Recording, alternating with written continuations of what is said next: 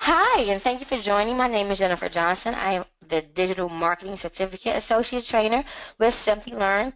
Today I'm going to go over email marketing foundations and the introduction to email.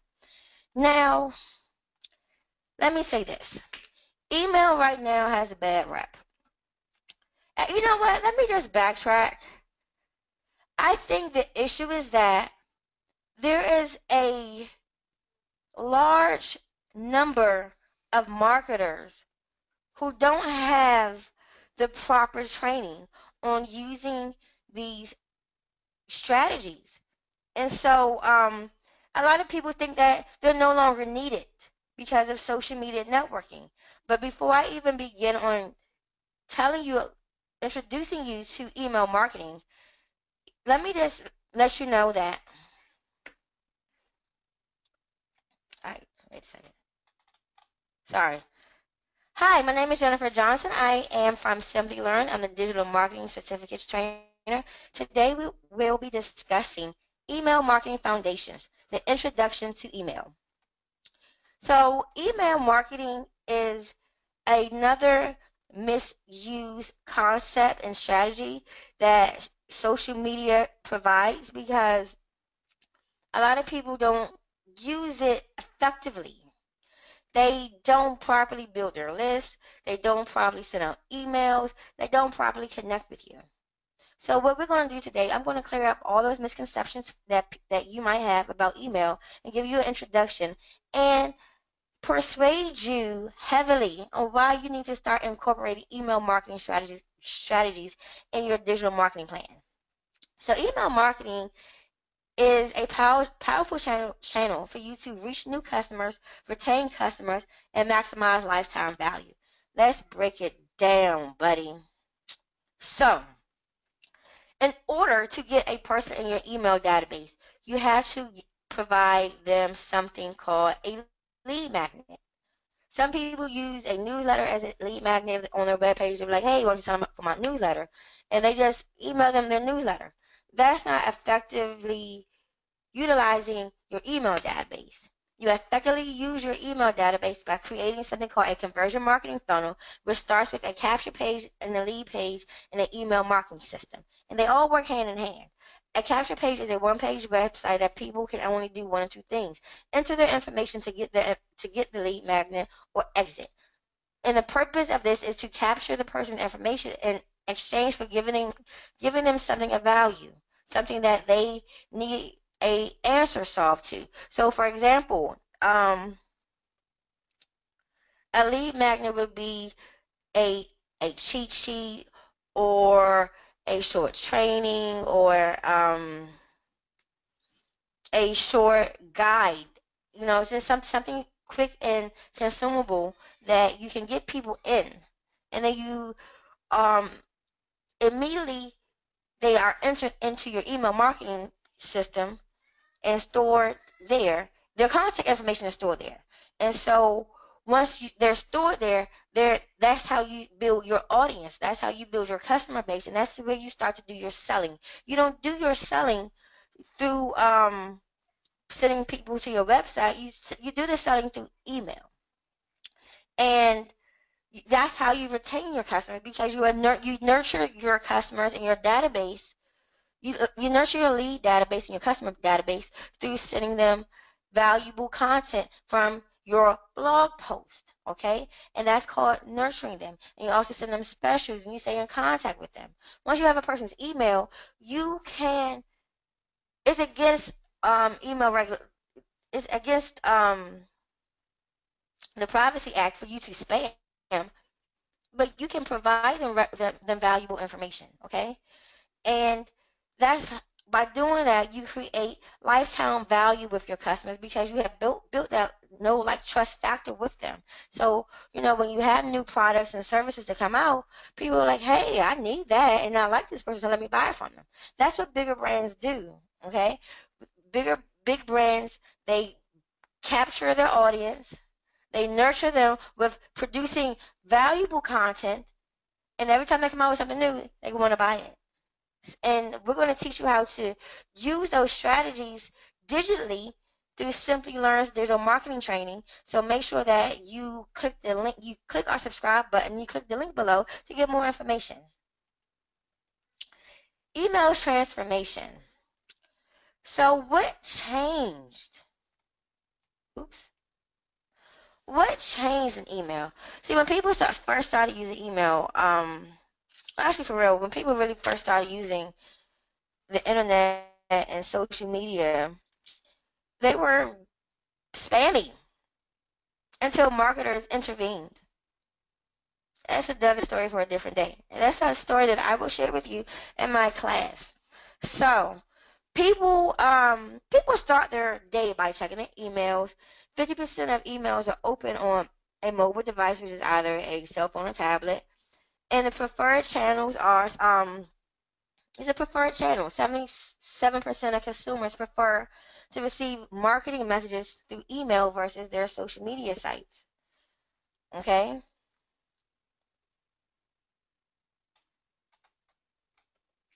Email marketing email marketing efficiency. According to a study by the Direct Marketing Association, a $1 investment can equal $40 in revenue. That is a 400% return on investment. Okay?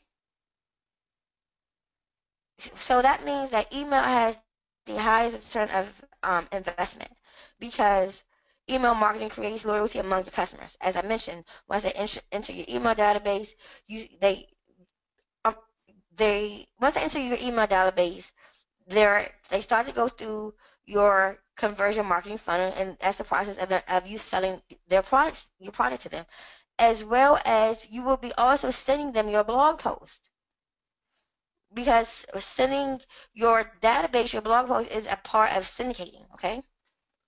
It's a email is a way to expand your customer customer base and educate them about your company. Yes, you do that. But you're educating them by sending them information from your blog post, okay? So you have that information on your blog, you you send them a short email, I'm like, hey, you want to learn more? Click here, okay? And they click there, they go to your website. That's how you create returning visitors and a loyal customer base, okay? By nurturing them, by educating them. By doing that, you're building intimacy and you're creating the no like trust factor among your customers base challenges with email, spam, spam, spam, spam. Challenges with email. Many people use email to spam you. And they don't send you valuable marketing messages. Spam is wrong. Say no to spam, especially if it's in a can. But no, seriously, say no to spam. Spam means that you're just your spam means that you are giving them unsolicited um advertising about your product. And we'll talk more about that in my class. So make sure you subscribe to the channel, you click the link below and you can join the class. Okay? You send a valuable messages. Um, when you send spam, you're not going to enter the inbox. But when you send valuable information, the chances of reaching a person's inbox are, are um higher. But you know, there there are techniques and, and tools. There are techniques that you have to use in your in your messages to make sure that you are seen as relevant. You're not seen as excessive, irrelevant, unimportant, and that you're not spamming spamming people. Okay. And we will talk about those those those techniques in the class. So your email resurgency requires uh, is techno- te- technological Email is technology, is mobile, is targeting, and is personal. It's technology because it you have to use a software. You have to use email marketing software. My favorite is MailChimp. Now, I've been to Aweber, I was at GVO, and I was at GetResponse. And the reason MailChimp is the best, and um, I'm not soliciting for them. I'm just sharing with you the tool that I use. The reason that I like um, MailChimp is because of their um, the matrices inside. and what you're able to do and how you're, you're how you're able to segment your um, customers. And the only other software that I've seen able to do that is Infusionsoft, and Infusionsoft is expensive. Mailchimp is more affordable for the um for the entry level business or the, entry level marketer. Email is mobile, as I mentioned. 77, as I mentioned in the previous slide, 77% of people check their, their emails through their phone. I know I check my emails through my phone all the time. Like, having to check my email on my computer is like, really? But I do it because I have to. Sometimes because my business emails on my computer. My, my I have my Gmail on my cell phone. Um, sorry, sticking out loud. And then it's targeting. It's targeting because you have your customer base, and the people that are the people that are in your email base are only people that are interested in what you have to offer. It is the hottest lead list that you, you have, and it's personal because you are you're able to connect with them on a personal level. You can send as many emails as you want a day. I wouldn't I wouldn't advise sending multiple emails a day, but I'm just saying that you can. You can it's advised to do that if you're you're in the middle of a launch, but just to connect with them now. The list. Ooh, sorry. The list of email addresses. Ha! In marketing, as an internet marketer, I'm not sure how many of you are internet marketers. I'm pretty sure many many of you are um, in a marketing field or venturing into marketing, but your list. You're on my list. so your list of email addresses can be people that are customers, prospects, leads, contacts, newsletter subscribers. It's basically everybody that you collect email addresses from your website. Customers are people that have bought from you. So let me really break it down to you um, in a format that, that makes sense to you. This right here, where you said newsletter subscribe, this is typically on your website, and I'm going to give you I'm going to give you a secret that I just learned. This is bad. This is bad. Do not use a newsletter as a way for people to opt in your email list because nobody wants your newsletter. If you offer them something of value like a lead magnet, you will have more people to subscribe to you. People that subscribe for your lead magnet, they are considered prospects. Once they enter your database, they become a lead. And a lead is the same thing as a contact. Once they purchase from you, they become a customer. So, newsletters, subscribers, um, moving forward, in the class, I teach you about lead magnets. We're going to have to do, you're doing an assignment on creating your own lead magnet, and you will take newsletter off of your website immediately because you have to stand out. Don't do what everybody else is doing. You have to stand out and don't be boring. Nobody wants your newsletter. I'm just being honest. How many newsletters do you get that you actually read? Like, come on now. Statistically speaking, most people don't open newsletters, and is boring. Just FYI. Sorry to bust your bubble. I'm just saying there are going to be a lot of things that I'm going to say that's going to bust your bubble, but I'm only doing that because I want you to succeed. I want you to be successful in your digital marketing efforts, and my job is to educate you and tell you the truth and to clarify any misconceptions that you may have. Because you will not leave my training misinformed and confused and feeling bamboozled. I want you to get the best education possible, which means that I have to clear up things that you thought were right. And I am sorry if I hurt your feelings. Let's move forward. Your email server. Ha! So, your email server acts as a routing and delivery agent for emails. Your email can be your business server through your internal internal hosted, a third party hosting through GoDaddy or Rackspace, or an email service provider such as Mailchimp. So let's just take let's take a look at um I have I have two out of the three. I actually had the three. I don't I no longer do the third party hosting once I learned about um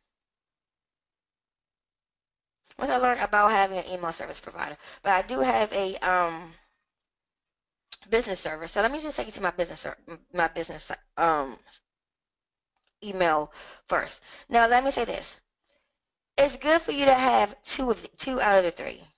Okay, you have this is my back office. My website is Build Your Dream Business Online. This is my um, email. Okay, this is a direct um, this email comes from the URL is to the URL for my business. It's important for you to have because you should have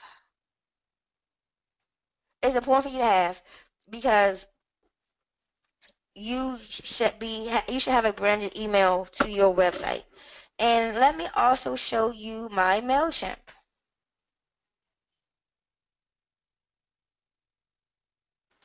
MailChimp is my email marketing system and is also considered an autoresponder depending on the field that you're in.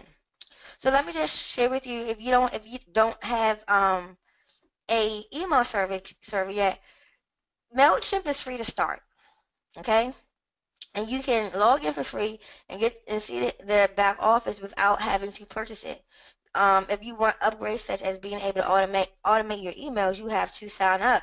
And the um, it's very inexpensive. You can get a ten dollar a month membership.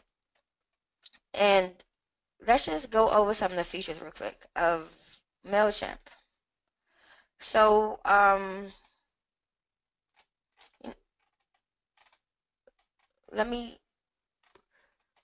um, so let's look at look, look at it you they have they you're able to chart your um your list and your campaigns and how many people are opening up your emails you are able to connect your your e-commerce store Shopify Magento BigCommerce and WooCommerce it fits many brands. You can. It has a wonderful design in the back office. They have powerful tools for you to um, explore your automation. There are different um, campaigns that you can use. I'm going to log in and let you see that. This is actually really, really, really cool. You have different reports. And you have more, you have hundreds and hundreds of integrations. Okay.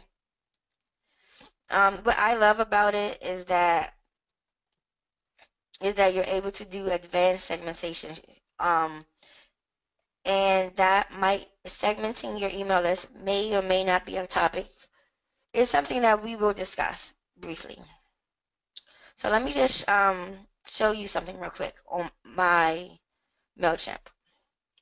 I'm going to show you the automations. And the automations mean that there um, are the campaigns that you set up for people different marketing campaigns that you set up for your products.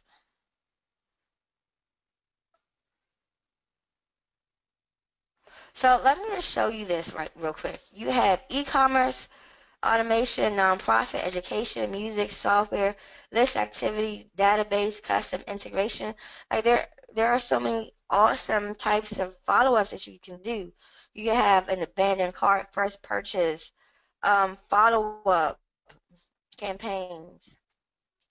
Nonprofits, you have supporter onboarding, membership renewal, events, re-engagement as um, different schools. You have student orientation, course series, student re-engagement. You have music downloads, record label information, events, events follow-up, software, pre-launch information, white page download, product feature engagement, user onboarding, list activities when people are just joining your list, database.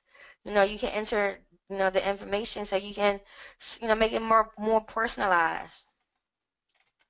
Mailchimp is so cool. Okay. Um, let's just check out the education real quick. This is it's cool. Like it's it's really really really cool.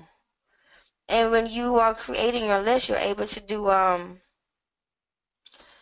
Where is it? This always confuses me. You can you can move your um. You're able to have many reports. I'm I'm just getting started um rebranding my um getting my business off the ground, so I don't have have this information yet, but it's available to me. So getting back to the slides um, in our presentation, you have to have your branded email. You have to have a branded email to your URL, and you have to have a email service provider. Third-party hosting through your um you through your hosting such as GoDaddy, Rackspace, or HostGator, they do offer email service, but it's weird and it's not nice and it's not pretty and it's easy, it's hard to use and like you don't need it. You have you have better options.